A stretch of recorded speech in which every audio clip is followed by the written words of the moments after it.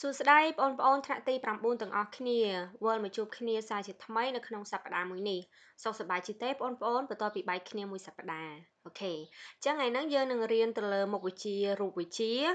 ចម្ពោះទី2គឺម៉ាស៊ីនងាយហើយមេរៀនទី3គឺរកនឹងត្រើយដដែលទេណាដូចជាសប្តាហ៍មុនដដែលប៉ុន្តែខ្លឹមសារថ្ងៃហ្នឹងគឺខុសពីសប្តាហ៍មុនខ្លឹមសារថ្ងៃហ្នឹងគឺយើងរៀនអំពីលំហាត់ រកគឺយើងអត់ទាន់រៀនអំពីត្រើយទេយើងរៀនរកឲ្យហើយយើងរៀនលំហាត់រកចប់ហើយចាំយើងបន្តទៅដល់ត្រើយចាបងប្អូនហើយក្រោយពីបងប្អូនសិក្សាចំណុចនេះចប់នឹងគឺបងប្អូនអាចចេះទៅលើបានអ្វីដែរអូខេអញ្ចឹងយើងមើលទាំងអស់គ្នា ចាអញ្ចឹងក្រោយពីសិក្សាចំណុចនេះចប់គឺបងប្អូននឹងមានសមត្ថភាពដោះស្រាយលំហាត់រកបានត្រឹមត្រូវអូខេហើយនៅក្នុងវីដេអូមួយហ្នឹងអ្នកគ្រូនឹងបង្ហាញលំហាត់រកចំនួន3ប្រភេទអញ្ចឹងអូនអាចចេះដោះស្រាយលំហាត់ប្រភេទរកបាន3ប្រភេទផ្សេងផ្សេងគ្នាណាOK យើងដឹងហើយមុននឹងចូលដល់មេរៀនថ្មីគឺយើងតែងតែរំលឹកនៅមេរៀនចាស់ OK អញ្ចឹងអ្នកគ្រូនឹងរំលឹកមេរៀនចាស់បងប្អូនដូចគ្នាដែល មេការរំលឹករបស់អ្នកគ្រូហ្នឹងគឺមានទៅលើផ្ទាំង slide ដែលអូនមើលឃើញតែម្ដង OK អញ្ចឹងរំលឹកមេរៀនចាស់គឺគេមានរ៉កដូចរូប OK នេះគឺជារូបភាពដែលគេឲ្យគេចង់ទាញវត្ថុឲ្យផ្លាស់ទីបានកម្ពស់20ម៉ែត្រតើគេត្រូវទាញខ្សែឲ្យផ្លាស់ទីបានប្រវែងប្រមាណម៉ែត្រអូ ខេអញ្ចឹងលំហាត់របស់យើងហ្នឹងអ្នកគ្រូរំលឹកតកតងទៅនឹងមេរៀនកាលពីសប្តាហ៍មុនបើសិនជាយើងបានរៀនមេរៀនកាលពីសប្តាហ៍មុនហើយនៅចាំយើងច្បាស់ជាអាចធ្វើលំហាត់មួយនេះបានអញ្ចឹងលំហាត់របស់យើងនេះគឺគេចង់ដឹងថាគេចង់លើកវត្ថុនេះឲ្យផ្លាស់ទីឡើងទៅលើហ្នឹងបានកម្ពស់20ម៉ែត្រតើយើងត្រូវទាញនេះទាញរកហ្នឹងឲ្យខ្សែនឹងផ្លាស់ទីបានប្រវែងប្រហែលម៉ែត្របើចង់បានអានឹងផ្លាស់ទី20ម៉ែត្រអូខេអញ្ចឹងយើងនៅចាំរូបមន្តនេះ ប្រវែងខ្សែដែលផ្លាស់ទីបាន វាស្មើនឹងអីស្មើនឹងកម្ពស់របស់វត្ថុដែលផ្លាស់ទីគុណឲ្យ n n ហ្នឹងអីគេ n ហ្នឹងគឺជាចំនួនខ្សែដែលត្របន្ទុក l នេះគឺជាប្រវែងខ្សែនៃរកដែលវាផ្លាស់ទីបានហាសនេះគឺជាកម្ពស់ដែលវត្ថុផ្លាស់ទីបាន n នេះគឺជាចំនួនខ្សែដែលត្របន្ទុកអូខេអញ្ចឹង l របស់យើងវាស្មើនឹង20គុណឲ្យ 4ព្រោះអីកម្ពស់វាម៉ានកម្ពស់របស់វត្ថុផ្លាស់ទីបានគឺ20ហើយខ្សែដែលត្របន្ទុកមានម៉ានយើងរាប់មក1 2 3 4ខេអញ្ចឹងកូននឹង4ស្មើ80កន្លែងហ្នឹងអត់មានប្របាក់ទេគឺស្រួលមែនតើណាចឹងបើសិនជាយើងចង់ឲ្យវត្ថុនឹងផ្លាស់ទីឡើងទៅលើបានកម្ពស់20ម៉ែត្រលុះត្រាតអូនទាញនេះទាញរកកន្លែងហ្នឹងឲ្យខ្សែវាផ្លាស់ទីបានប្រវែង80ម៉ែត្រអញ្ចឹងវានឹងផ្លាស់ទីបាន20ម៉ែត្រហើយ អូខេអញ្ចឹងរំលឹកមេរៀនចាស់មានតែប៉ុណ្្នឹងទេគឺយើងចូលទៅដល់លំហាត់ដែលយើងនឹងត្រូវសិក្សានៅក្នុងសប្តាហ៍នឹងតែម្ដងខេអញ្ចឹងលំហាត់ទី1យើងមើលទាំងអស់គ្នាគេថាគេប្រើរកនឹង1ដើម្បីលើកវត្ថុមួយមានម៉ាស85គីឡូក្រាមតើគេអាចលើកវត្ថុបានដែរឬទេ បើគេបញ្ចេញកម្លាំងចលករតែ 750ញូតុនប៉ុណ្ណោះខេលំហាត់ប្រភេទបែបហ្នឹងលុះត្រាតអូនចាំលក្ខណៈរបស់រកនឹងថាវាយ៉ាងម៉េចបានអាចធ្វើបានបើយើងអត់ចាំទេប្រហែលជារៀងពិបាកបន្តិចប៉ុន្តែពេលយើងមើលអ្នកគ្រូបញ្ចូលទៅគឺស្រួលវិញហើយណាអូខេអញ្ចឹងលំហាត់របស់យើងនឹងគេចង់សួរថាតើយើងអាចលើកវត្ថុនឹងរួចអត់វត្ថុនឹងវាមានម៉ាស85គីឡូក្រាមហើយយើងបញ្ចេញកម្លាំងតែ750ញូតុនទេថាតើយើងលើកវារួចអត់ដោយយើងប្រើប្រាស់ រកនឹងហើយអញ្ចឹងយើងមកមើលទាំងអស់គ្នាថាតើរួចឬមិនរួចចឹងជាដំបូងអ្នកគ្រូឲ្យរូបភាពរកនឹងឲ្យយើងមើលសិនដើម្បីមានភាពងាយស្រួលនៅក្នុងការបញ្យល់ចឹងនេះมันជាប្រភេទរកនឹងចឹងគេវត្ថុនឹងមានម៉ាស85គីឡូក្រាមហើយយើងប្រើកម្លាំងទៅទាញវាតែ750ញូតុនទេសំណួរសួរថាតើយើងអាចទាញវត្ថុនឹងឲ្យផ្លាស់ទីបានដែរឬទេ ខេអញ្ចឹងអ្នកគ្រូនិយាយបកត្រឡប់ទៅការពីយើងរៀនមេរៀនរកនឹងវិញលក្ខណៈនៃរកនឹងយ៉ាងម៉េចលក្ខណៈនៃរកនឹងទម្ងន់របស់វត្ថុត្រូវតែម៉េចត្រូវតែស្មើនឹងកម្លាំងដែលយើងបញ្ចេញបានយើងអាចទាញវត្ថុនឹងឲ្យផ្លាស់ទីបានបើសិនជាកម្លាំងដែលយើងបញ្ចេញហើយនឹងទម្ងន់របស់វត្ថុមិនស្មើគ្នាទេ ឬក៏តូចជាង មានន័យថាយើងមិនអាចទាញវត្ថុនឹងឲ្យផ្លាស់ទីបានទេនិយាយដោយខ្លីទៅ នៅពេលដែលយើងប្រើរកនឹងកម្លាំងចលករដែលយើងបញ្ចេញ និងទម្ងន់របស់វត្ថុគឺស្មើគ្នាទើបវត្ថុនឹងអាចផ្លាស់ទីបានហើយអ្នកទាំងអស់គ្នាកុំច្រឡំទម្ងន់របស់វត្ថុហើយនិងម៉ាស់របស់វត្ថុគឺមិនដូចគ្នាទេអានេះគឺម៉ាស់អញ្ចឹងយើងត្រូវរកទម្ងន់វាដើម្បីមកប្រៀបធៀបជាមួយនឹងកម្លាំងដែលយើងបញ្ចេញនេះ ថាតើវាស្មើគ្នាអត់បើវាស្មើគ្នាលើករួចតែបើសិនជាទម្ងន់របស់វត្ថុនឹងធំជាងកម្លាំងចលករដែលយើងបញ្ចេញមានន័យថាយើងទើបអត់រួចទេតែបើទម្ងន់របស់វត្ថុតូចជាងកម្លាំងចលករដែលយើងបញ្ចេញអានឹងក៏លើករួចដែរខេអញ្ចឹងយើងស្គាល់ម៉ាស់របស់វត្ថុអញ្ចឹងយើងស្គាល់ម៉ាស់របស់វត្ថុគឺយើងអាចរកទម្ងន់របស់វាបានហើយដោយប្រើរូបមន្តអីខេអញ្ចឹងយើងរកទម្ងន់របស់វត្ថុមកទម្ងន់របស់វត្ថុគឺ រកតាមរូបមន្ត FA ស្មើ M គុណឲ្យ C អញ្ចឹងយើងដឹងហើយកាលណាស្គាល់ម៉ាស់រទម្ងន់គឺគុណនឹងសន្ទុះទនាញផែនដីហើយសន្ទុះទនាញផែនដីគឺមានតម្លៃស្មើនឹង10ម៉ែត្រក្នុង1វិនាទីការ៉េតាំងវិទី7ណាអ្នកទាំងអស់គ្នារហូតដល់ឥឡូវក៏នៅតែប្រើដែរអញ្ចឹងម៉ាស់របស់វាប្រហែល85អញ្ចឹងយើងចំនួនចូលមក K 85គុណនឹង10ស្មើម៉ាន850ញូ ញូតនខេអញ្ចឹងយើងរកឃើញទម្ងន់របស់វត្ថុអីទម្ងន់របស់វត្ថុម៉ាន850ញូតនឥឡូវយើងមកគិតទាំងអស់គ្នាថាលើករួចឬមិនរួចអញ្ចឹងទម្ងន់របស់វត្ថុគឺ850ញូតនហើយកម្លាំងដែលយើងបញ្ចេញម៉ាន750អញ្ចឹងកម្លាំងដែលយើងបញ្ចេញហើយទម្ងន់របស់វត្ថុមិនដែរគឺវាអត់ស្មើគ្នាទេអញ្ចឹងកាលណាអត់ស្មើគ្នាកម្លាំងដែលយើងបញ្ចេញអត់ស្មើនឹងទម្ងន់របស់វត្ថុ មានន័យថាគឺយើងមិនអាចលើកវត្ថុនឹងរួចទេ ពីព្រោះរកដែលយើងប្រើគឺរកនឹងមិនមែនរកចល័តទេបើសិនជារកចល័តគឺកម្លាំងដែលយើងបញ្ចេញត្រូវស្មើនឹងទម្ងន់ចែកជា2តែអានេះអត់ទេអានេះគឺប្រើរកនឹងអញ្ចឹងកម្លាំងដែលយើងត្រូវបញ្ចេញដាច់ខាតត្រូវតែស្មើនឹងទម្ងន់របស់វត្ថុបើចង់ឲ្យលើកវត្ថុនឹងរួចឥឡូវវាអត់ស្មើទេយើងបញ្ចេញកម្លាំងតូចជាងទម្ងន់របស់វត្ថុដល់ទៅ100ញូតនហេតុនេះគឺយើងមិនអាចលើក វត្ថុនឹងរួចទេករណីនឹងណា OK OK អញ្ចឹងយើងឆ្លើយគេមកចំពោះរ៉កនឹងបើវត្ថុមានទម្ងន់850ញូតនលុះត្រាតែគេបញ្ចេញកម្លាំង850ញូតនដែរទៅលើករួចទោះតែបញ្ចេញស្មើគ្នា តែបើគេបញ្ចេញតែ750ញូតនប៉ុណ្ណោះដូចនេះគេមិនអាចលើកវត្ថុនេះបានទេអានឹងរកនឹងណារកចល័តផ្សេងប្រព័ន្ធរកផ្សេងទៀតយើងដឹងអស់ហើយ FE វាស្មើនឹង FA ចែកឲ្យចំនួនខ្សែដែលត្របន្ទុកអាហ្នឹងបើករណីខុសពីរកនឹងអញ្ចឹងបើសិនជាយើងប្រើរកនឹងដាច់ខាតត្រូវតែកម្លាំងដែលយើងបញ្ចេញស្មើនឹងទម្ងន់របស់វត្ថុបានលើករួចបើយើងចង់ប្រើកម្លាំងប៉ុណ្ណឹងហើយចង់លើកឲ្យរួចទោះលុះត្រាតែយើងឆ្នៃបដូរពីរកនឹងទៅជារកចល័តឬក៏ប្រព័ន្ធរកអាហ្នឹងគឺយើង ប្រើកម្លាំងតិចអាចលើករួចហើយតែបើក្នុងករណីហ្នឹងគឺយើងលើកអត់រួចទេអូខេអញ្ចឹងលំហាត់ទី1ត្រូវបានបញ្ចប់ យើងឈានចូលទៅដល់លំហាត់ទី2តែម្ដងអញ្ចឹងយើងមើលលំហាត់ទី2ទាំងអស់គ្នាគេថាគេព្យួរវត្ថុមួយមានម៉ាស59គីឡូក្រាម ទៅនឹងរកចល័តមួយគណនាអាំងតង់ស៊ីតេកម្លាំងដែលមានអំពើលើទំពក់ និងអាំងតង់ស៊ីតេកម្លាំង ដែលកម្មករនោះទាញវត្ថុទៅលើអូខេតោះឥឡូវអ្នកគ្រូបញ្យល់ទៅលើរូបតែម្ដងអញ្ចឹងគេថារូបហ្នឹងគឺគេប្រើរកចល័តហើយនេះគឺជារកចល័តណាហើយគេបញ្យល់អង្គធាតុមួយដែលមានម៉ាស59គីឡូក្រាម ហើយកម្មករគាត់ទាញនៅកន្លែងនេះហើយគេសួររកកម្លាំងដែលមានអំពើលើទំពក់ឯណាទំពក់ខេនេះគឺជាទំពក់ នេះគឺជាទំពក់ហើយកន្លែងនេះគឺជាកន្លែងដែលកម្មករគាត់ឈរដើម្បីទាញវត្ថុនឹងឡើងទៅលើអញ្ចឹងគេសួររកកម្លាំងដែលកើតមានទៅលើទំពក់និងកម្លាំងដែលកម្មករបញ្ចេញថាស្មើនឹងប៉ុន្មានអូខេអូនដឹងហើយវាគឺជារកចល័តត្រូវអត់កាលណារកចល័តយើងនឹងចាំឯកម្លាំងចលករដែលត្រូវបញ្ចេញយ៉ាងម៉េចដែរស្មើនឹងពាក់កណ្ដាលនៃទម្ងន់របស់វត្ថុកាលណាយើងប្រើ រកចល័ត គឺ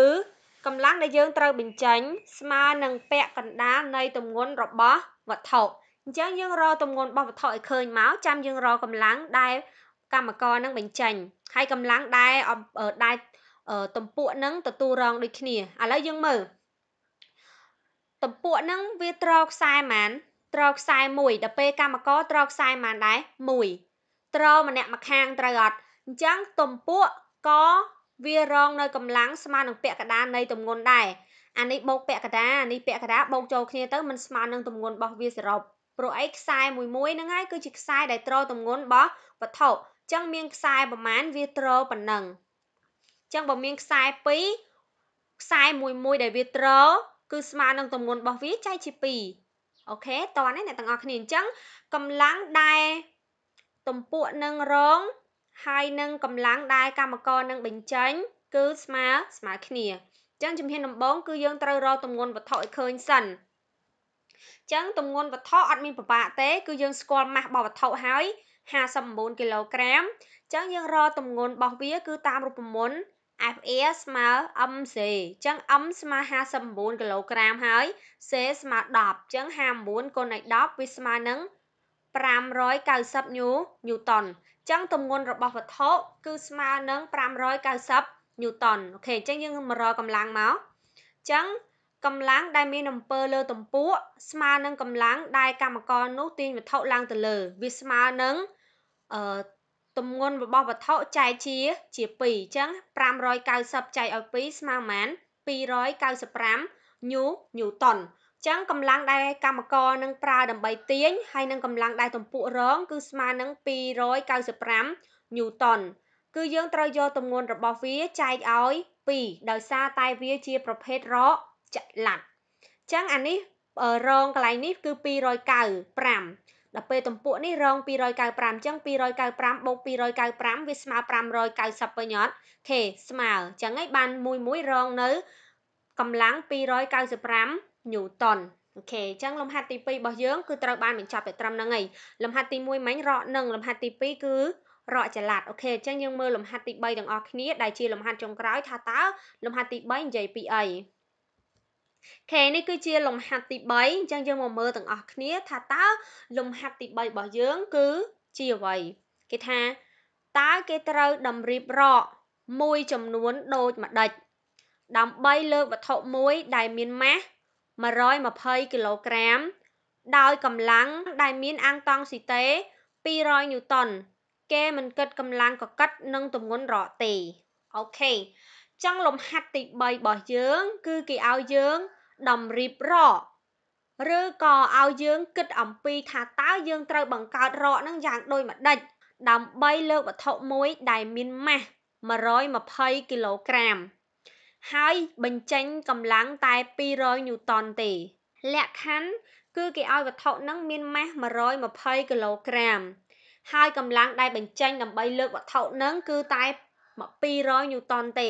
ហើយគេសួរយើងថាតើគេត្រូវតម្រៀបរកនឹងយ៉ាងដូចម្ដេចតើយើងត្រូវចំណាយរកអស់ប្រមាណតម្រៀបយ៉ាងម៉េចដើម្បីឲ្យលើកវត្ថុនឹងរួចឥឡូវយើងមកគិតទាំងអស់គ្នាថាតើយើងត្រូវធ្វើម៉េច អូខេអូនអញ្ចឹងដើម្បីរកលំហាត់ប្រភេទហ្នឹងជំហានដំបូង គឺយើងត្រូវរកផលមេកានិកវាឲ្យឃើញសិនហេតុអីបានត្រូវរកផលមេកានិកវាឲ្យឃើញពីព្រោះកាលណាយើងរកផលមេកានិកវាឃើញ យើងនឹងអាចដឹងថាតើយើងប្រើខ្សែដែលត្របន្ទុកបានប្រមាណហើយតើយើងប្រើរកចំនួនប្រមាណយើងនឹងដឹងព្រោះអីផលមេកានិក ស្មើនឹងចំនួនខ្សែដែលត្រូវបន្ទុក ត្រូវអត់អញ្ចឹងបើយើងរកផលមេកានិកឃើញ យើងនឹងដឹងហើយថាខ្សែត្រូវបន្ទុកមានប៉ុន្មាន រកមានប៉ុន្មាន យើងអាចបង្កើតជារូបរាងរកឲ្យគេបានអូខេអញ្ចឹងមុននឹងរកផលមេកានិកគឺយើងត្រូវរកទម្ងន់របស់វត្ថុឲ្យឃើញសិន ពីព្រោះអីវត្ថុគេប្រាប់ជាម៉ាស់នេះគេអត់ប្រាប់ជាទម្ងន់ទេគេប្រាប់ជាម៉ាស់អញ្ចឹងយើងត្រូវរកទម្ងន់របស់វត្ថុឲ្យឃើញសិន FA ស្មើ M គុណឲ្យ C អញ្ចឹង M ម៉ាស់របស់វាគឺ120 C 10អញ្ចឹងវាស្មើនឹង1200ញូតុនអូខេអញ្ចឹងយើងរកទម្ងន់របស់វត្ថុឃើញហើយគឺ1200ញូតុនជំហានទី2យើងត្រូវរកផលមេកានិករបស់វា ចឹងផលមេកានិកយើងរកតាមណាធម្មតាផលមេកានិកនៃរកมันស្មើនឹងចំនួនខ្សែដែលត្រូវបន្ទុកប៉ុន្តែលំហាត់របស់យើងពេលហ្នឹងគឺយើងអត់ដឹងចំនួនខ្សែដែលត្រូវបន្ទុកទេយើងអត់មានរូបភាពរកឲ្យមើលទេពីព្រោះអីគេកំពុងតែឲ្យយើងទៅរកថាតើយើងបង្កើតរកហ្នឹងដោយមានរូបរាងយ៉ាងម៉េចឲ្យគេអញ្ចឹងយើងអត់អាច គេអាចឲ្យរូបឲ្យយើងដើម្បីមើលបានទេបើឲ្យរូបយើងដើម្បីមើលឲ្យយើងទៅរកនឹកដើម្បីបង្កើតធ្វើអីអូខេអញ្ចឹងយើងដឹងហើយផល mechanic នៃរកមិនមែនតាស្មើចំនួនខ្សែដែលត្រូវបន្ទុកណាយើងអាចរកផល mechanic តាមរូបមន្ត FA នៅលើ SE បានតើមិនអញ្ចឹងអីអញ្ចឹងយើងតាមរូបមន្តមក MA ស្មើ SA ចែកឲ្យ SE គឺ MA ស្មើនឹងទម្ងន់របស់វត្ថុចែកឲ្យនឹងកម្លាំងចលករដែលយើងបញ្ចេញ ចឹងទម្ងន់របស់វត្ថុឬក៏កម្លាំងទប់នឹងតែមួយទេណា SE SE នឹងចឹងទម្ងន់របស់វត្ថុយើងរកឃើញហើយម៉ានគឺ1200ដល់ពេល SE កម្លាំងចលករកម្លាំងចលករគឺគេឲ្យហើយម៉ាននេះ200 Newton ចឹងយើងដាក់200 Newton មកចឹង1200ចែកឲ្យ200ស្មើនឹង6ពេលដែលអូនរកឃើញផលមេកានិកស្មើ6បែបហ្នឹងយើងនឹងដឹងហើយថា ចំនួនខ្សែដែលត្រូវបន្ទុករកហ្នឹងគឺត្រូវមាន6 អូនត្រូវចាំ ផលមេកានិកវាមិនត្រឹមតែស្មើនឹងចំនួនខ្សែដែលត្រូវបន្ទុកទេវាស្មើនឹងចំនួនរកដែលត្រូវប្រើផងដែរចឹងមានន័យថាបើយើងរកឃើញផលមេកានិកស្មើ6ចឹងចំនួនខ្សែដែលត្រូវបន្ទុកត្រូវតែមាន6ហើយរកដែលយើងត្រូវយកមកប្រើគឺមាន6ចឹងយើងដឹងហើយថាអូដាច់ខាតត្រូវតែមានចំនួនខ្សែដែលត្រូវបន្ទុកមាន6ហើយអីគេ រកដែលត្រូវប្រើក៏មាន6ដែរអញ្ចឹងយើងមានសមត្ថកម្មពីរហ្នឹងយកមកបង្កើតចេញជារកឲ្យគេដើម្បីធ្វើថាតើធ្វើយ៉ាងម៉េចអញ្ចឹងអូខេឥឡូវយើងមើលនេះអញ្ចឹងយើងអាចឆ្នៃបានហើយឆ្នៃបានរកប្រភេទបែបហ្នឹងឲ្យគេអញ្ចឹងរកចំនួនខ្សែឲ្យត្រឹមទុករាប់មើលមានប៉ុន្មាន1 2 3 4 5 6ខេមាន6ត្រូវអត់ហើយឥឡូវយើងមើលចំនួនរកមានប៉ុន្មានដែរ1 2 3 4 5 6ខេដើម្បីលើកវត្ថុ120គីឡូក្រាមដែលមានម៉ាស់120គីឡូក្រាមដោយប្រើកម្លាំងតែ200ញូតុនដាច់ខាតត្រូវប្រើរកប្រភេទហ្នឹងគឺយើងត្រូវរករកទាំង6យកមកបង្កើតឲ្យបានរូបរាងបែបហ្នឹងអ្នកគ្រូសូមបញ្ជាក់កន្លែងហ្នឹងមិនចាំបាច់ថាដាច់ខាតត្រូវតែចេញរកអញ្ចឹងទេ ឲ្យតែប្រើរកចំនួន6ហើយបង្កើតឲ្យបានខ្សែត្របន្ទុកចំនួន6អូនឯងចង់បង្កើតចេញជារករៀងយ៉ាងម៉េចក៏បានដែរធ្វើមិនឲ្យតែមានខ្សែត្របន្ទុកចំនួន6រកចំនួន6ហើយលើកវត្ថុនឹងរួចគឺត្រឹមត្រូវហើយមិនបាច់ចាំថាអ្នកគ្រូទោះតែចេញអញ្ចឹងអីអត់ទេពីព្រោះយើងអាចបង្កើតរកបានចេញតាមរូបរាងផ្សេងផ្សេងអ្នកខ្លះគាត់នឹកឃើញបង្កើតបានជារកប្រភេទអញ្ចឹងហើយអ្នកខ្លះទៀតគាត់អាចមានគំនិតផ្សេងដែលអាចបង្កើតរកចេញជារូបរាងផ្សេងមួយទៀត ចឹងអាស្រ័យទៅលើថាតើយើងមានគំនិតបែបណានៅក្នុងការបង្កើតចឹងលំហាត់របស់យើងគេចង់បានបែបហ្នឹងគេចង់បានថាតើបើសិនជាយើងមានម៉ាស់ប៉ុណ្ណឹងហើយកំណត់កម្លាំងថាឲ្យបញ្ចេញតែប៉ុណ្្នឹងទេតើយើងត្រូវបង្កើតរកមិនអាហ្នឹងវាសំខាន់នៅក្នុងជីវភាពរស់នៅប្រចាំថ្ងៃឧបមាយើងធ្វើនៅក្នុងការដ្ឋានឧបមាមនុស្សយើងមានកម្លាំងអាចបញ្ចេញកម្លាំងបានតែ200ញូតុនទេប៉ុន្តែលើកវត្ថុហ្នឹង100គីឡូ ចឹងត្រូវធ្វើម៉េចត្រូវបង្កើតរកម៉េចដើម្បីឲ្យទាញវាបានអញ្ចឹងវិធីគឺរបែបហ្នឹងណាដើម្បីឲ្យដឹងថាធ្វើម៉េចអូខេអញ្ចឹងយើងឆ្លើយដូចនេះគេមកដូចនេះយើងត្រូវតម្រៀបរឲ្យមានខ្សែត្របន្ទុកចំនួន6និងប្រើរកចំនួន6ហើយតម្រៀបដូចដូចរូបអូខេដូចរូបដែលអ្នកគ្រូឲ្យបែបហ្នឹងអញ្ចឹងបញ្ជាក់លំហាត់ដែលគេឲ្យយើងរដើម្បី ថាតើយើងត្រូវតម្រៀបរកនឹងយ៉ាងដូចម្ដេចគឺយើងត្រូវទៅរកផលមេកានិកវាឲ្យឃើញកាលណាយើងរកផលមេកានិកឲ្យឃើញយើងនឹងដឹងថាតើយើងត្រូវប្រើខ្សែត្របន្ទុកចំនួនប៉ុន្មានហើយទឹកយើងនឹងដឹងថាតើយើងនឹងប្រើរកចំនួនប្រមាណដើម្បីយើងរកសម្ភារៈមកបង្កើតហើយពេលដែលយើងដឹងថាប្រើប៉ុន្មានហើយយើងសម័យរូបភាពថាតើយើងតម្រៀបរកនឹងយ៉ាងដូចដូចម្ដេចខេលំហាត់របស់យើងគឺមានតែប៉ុណ្្នឹងទេបញ្ចប់ហើយណាគឺលំហាត់ទី1ទី2និងទី3ហើយអ្នកគ្រូនឹងមានកិច្ចការផ្ទះ បើសិនជាបងប្អូនមានចម្ងល់សូមកុំភ្លេចសួរ comment សួរក៏បានឆាតមកសួរផ្ទាល់ក៏បានដែរហើយនេះគឺជាលំហាត់កិច្ចការផ្ទះលំហាត់កិច្ចការផ្ទះអ្នកគ្រូគឺមានចំនួន3អ្នកគ្រូបរៀនលំហាត់អូន3របៀបចឹងអ្នកគ្រូនឹងដាក់លំហាត់កិច្ចការផ្ទះអូន3របៀបដូចគ្នាខេសម្រាប់អ្នកដែលគាត់រៀនតាមអនឡាញប៉ុន្តែអើយមិនមែនជាកូនសិស្សអ្នកគ្រូគ្នាយើងក៏អាចធ្វើលំហាត់កិច្ចការផ្ទះនេះបានដែរហើយឆាតផ្ញើមកឲ្យអ្នកគ្រូក៏បានដែរណាអ្នកគ្រូនឹងដាក់ link account Facebook អ្នកគ្រូនៅក្នុង description ឬក៏នៅក្នុង comment គឺអូនអាចចុចទៅក្នុងនោះទៅហើយផ្ញើកិច្ចការផ្ទះមកឲ្យអ្នកគ្រូដើម្បីឲ្យអ្នកគ្រូកែឲ្យណាសម្រាប់ដែរអ្នកដែលជាកូនសិស្សអ្នកគ្រូហើយគឺអត់ប្របាក់ទេព្រោះយើងនៅក្នុងក្រុមមួយគ្នាហើយអញ្ចឹងយើងអាចផ្ញើមកអ្នកគ្រូអូតូតែម្ដងសម្រាប់អ្នកដែលគាត់ស្វ័យសិក្សាបន្ថែម នឹងរៀនសិក្សាដោយខ្លួនឯងមិនមែនជាកូនសិស្សអ្នកគ្រូដោយអ្នកគ្រូប្រាប់មិញនឹងចឹងថាអាចឆាតមកអ្នកគ្រូបាន account Facebook អ្នកគ្រូអ្នកគ្រូដាក់ link នៅក្នុង នៅក្នុង description ឬក៏នៅក្នុង comment យើងចុច link ហ្នឹងទៅចូលទៅដល់ Facebook អ្នកគ្រូហើយណាអាច add មកឬក៏ផ្ញើសារមកតែមកក៏បានដែរអូខេអរគុណច្រើនណាចឹងលំហាត់របស់យើងគឺចប់តែប៉ុណ្្នឹងហើយ ចាវីដេអូសម្រាប់សប្តាហ៍នេះត្រូវបានបញ្ចប់ទៅត្រឹមនេះហើយអ្នកគ្រូជូនពរបងប្អូនសំណាងល្អកុំភ្លេច3កុំ3ការពារដើម្បីជៀសឆ្ងាយពីជំងឺ Covid ទាំងអស់គ្នាហើយកុំភ្លេចណាធ្វើកិច្ចការផ្ទះនិងខិតខំប្រឹងប្រែងរៀនសូត្រស្វ័យសិក្សាដោយខ្លួនឯងរាល់ចម្ងល់ត្រូវតែស្វែងរកចម្លើយតាមរយៈការសិក្សាស្រាវជ្រាវបន្ថែមលើប្រព័ន្ធអនឡាញតាមរយៈ Facebook YouTube ឬក៏ឆាតមកសួរអ្នកគ្រូផ្ទាល់ក៏បានដែរ ចាជម្រាបលាជួបគ្នានៅសប្តាហ៍ក្រោយទៀត